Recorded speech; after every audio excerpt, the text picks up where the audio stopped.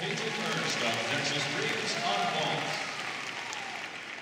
Now on floor exercise for Capital,